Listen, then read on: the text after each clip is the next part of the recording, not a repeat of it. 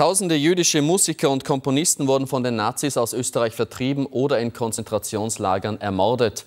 Der Verein Exil Arte, unterstützt unter anderem von Nationalratspräsidentin Prammer, arbeitet diese vergessene Zeit auf und hat nun im Wiener Palais Epstein eine umfassende Online-Datenbank präsentiert. Mehr als 10.000 Werke aller Musikrichtungen sind laut Schätzungen von Exil Arte von den Nazis vernichtet worden. Die Online-Datenbank versucht diese Lücken in der Musikgeschichte zumindest teilweise zu schließen und sammelt Namen und Werke von vergessenen österreichischen Musikern wie Ruth Schöntal oder Karl Weigel. Die Beschäftigung mit diesen Künstlern hat allerdings auf sich warten lassen.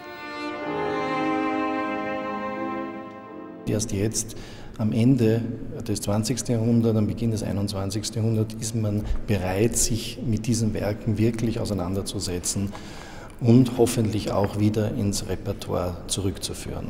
Diese Werke sollen nun für das Publikum hörbar gemacht werden. Den Anfang macht eine CD mit den Kompositionen des Wieners Hans Gahl.